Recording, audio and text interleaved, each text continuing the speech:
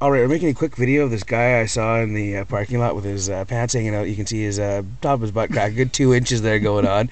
Mom, what is your opinion on this? Uh, this will be going on YouTube. There's a uh, a uh, man with his butt crack hanging out at the know, country grocer in Nanaimo. feel- Isn't that attractive? Makes me feel ill. It's it's And there he goes, it's making me hot, and he's still not. No, he's there. He goes.